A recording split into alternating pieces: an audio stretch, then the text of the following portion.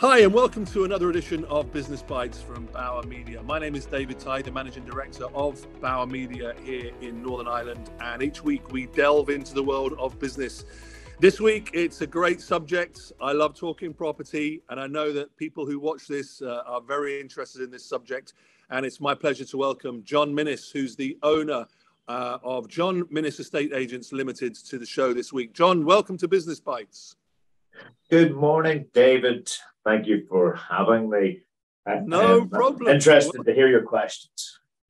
well, listen, we're going to get straight into it. We uh, we have ten minutes, and we like to get straight into the, the, the details. So, tell us a little bit about your your company. Tell us a little bit about the history and, and how you got to uh, where you are today. Okay, John Minnis Estate Agents. We opened um, the first branch in Holywood, the branch I speak to you from today. Uh, um, oh, 18 years ago, 4th of July 2005. Um, we, we, we, from then, we added four more branches. So we've uh, five branches at the moment, uh, uh, covering uh, most of the province, I would have to say, uh, um, with uh, our branches strategically placed in Holywood, Belfast,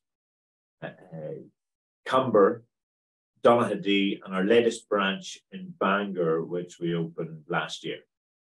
Great, great. So going from strength to strength. Um, let's talk about the property market. Let's talk about houses because it always raises a lot of interest. Uh, people always like to follow the uh, housing market uh, closely. I'm sure you get asked every day of the week what's going on.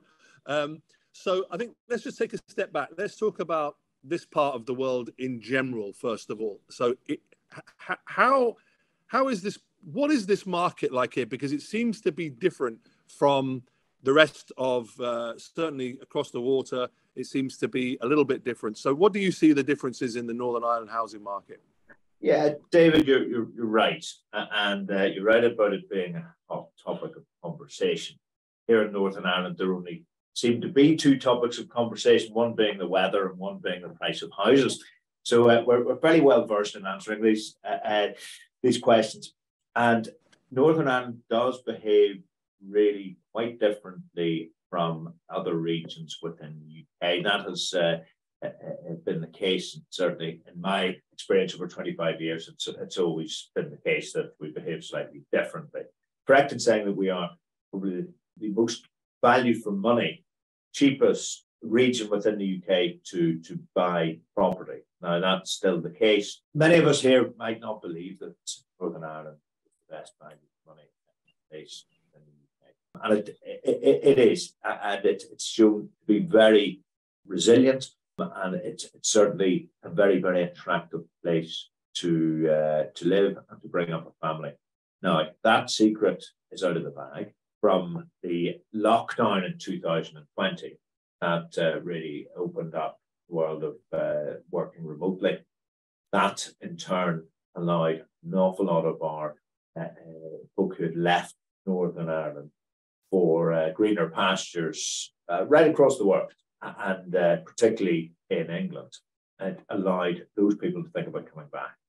So we've over the course of the last two and a half years, we've sold property to folk returning from America, Australia, Hong Kong, Singapore, anywhere and everywhere that you can think of, a lot from Europe, but a, a constant stream and uh, a large volume of traffic is returning from England. That has actually progressed on quite a bit, where people are not only returning from England, but English families choosing to up sticks, relocate, and live here in Northern Ireland. There are three main factors. The motivating factor is the world class education system that uh, is available here in Northern Ireland that is effectively free or very close to it. The other main point would be the price of property. And the third thing, and very importantly, is the lifestyle that uh, maybe take for granted here in Northern Ireland. You know, we have the seashores, the Belfast Lough, Strangford Lough, Lough Neagh, the North Coast, the mountains of Mourne, uh, um, the Sperrins. You, you, know, we, we can do all these things in one day. Uh, um, so we have, we have a great outdoors lifestyle. Uh, and not having to be 20 minutes from the office anymore allows our, our, our local residents to decide where they want to live.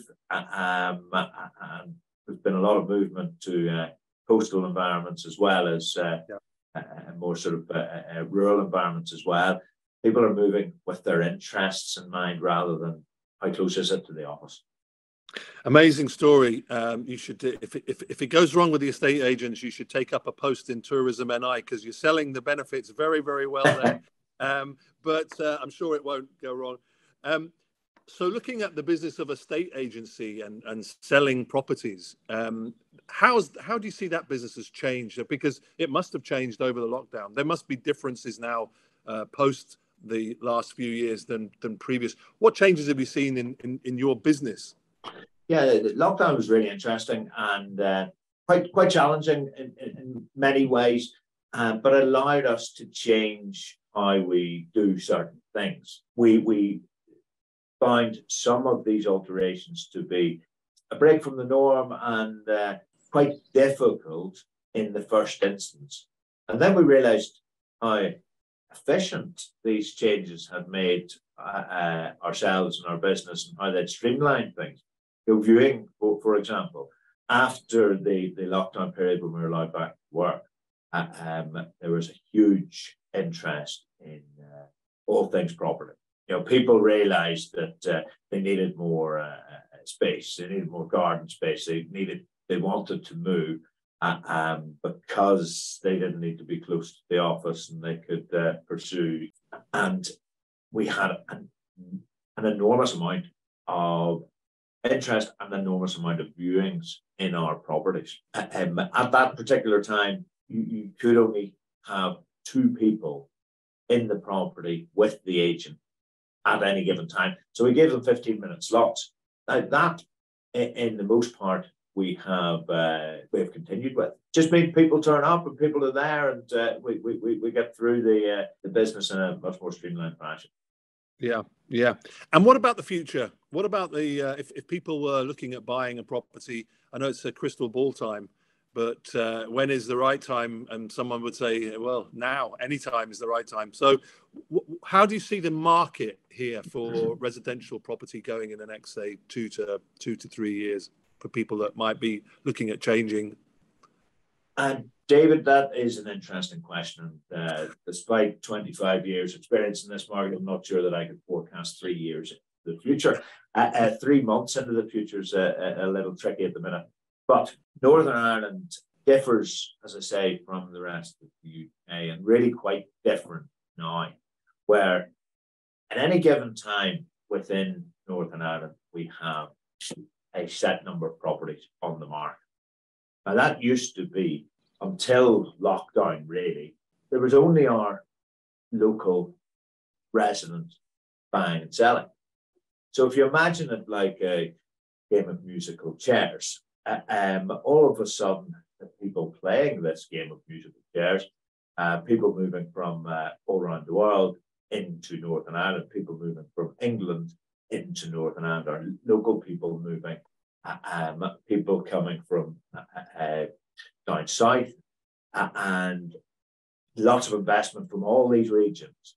The, we have the same number of chairs, a much bigger audience, and that has bolstered the prices in Northern Ireland.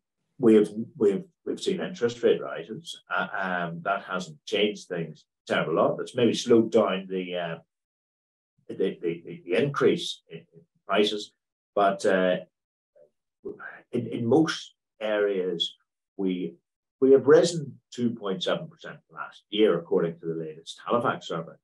Uh, um, that's the only region within the UK that has had an increase. I suspect that over the course of the next 12 months, that uh, we, we, we won't see a decrease, but we'll plateau out as far as the prices are concerned. So, uh, uh, yeah, that, that's probably as far as I can forecast at the moment. That's fine. I'm sure you've been asked that question a few times. Um, and I think uh, John, we will have to draw it to a close. We're almost out of time, but uh, can I just take this opportunity to wish you and the whole team at John Minnis Estate Agents the very, very best uh, for the rest of the year and beyond. And uh, and I suppose it's um, it's the case of supply and demand. It's the old economic case of um, supply and demand. There's been a lot, lot more demand, but we still have the same amount of, as you said, supply. Of, yeah, of yeah. Supply and demand maybe a, a, a, better way of putting it. There, there's uh, the same level of supply and greater demand. We're a member of the Guild of Property Professionals. The Guild chose us to represent them here in Northern Ireland across our regions. The English market find our property straight away. That is gold to our clients at the moment. Um, that extra interest in the property, that extra demand from the property secures the highest price. So it's, it's, it's a very interesting marketplace, the most interesting time I remember over the course of the last 25 years. And it's a good time. I went to school in the centre of Belfast. People were leaving this country, find employment and greener pastures and pursue careers. And now uh, people aren't leaving as much and people are returning and uh, uh, English people are uh, uh, upping sticks, moving here and bringing up their children in Northern Ireland. I mean, it's an amazing turn of the tables. So I, am I'm, I'm just delighted and very proud to be uh, selling property in this part of the world. Well, John, uh, we'll leave it at that, but thank you so much for sharing your insight with us this week. We appreciate it. And as I said, uh, thanks, uh, John Minnis from John Minnis Estate Agents, for being our guest this week on Business Bites. Thanks, David.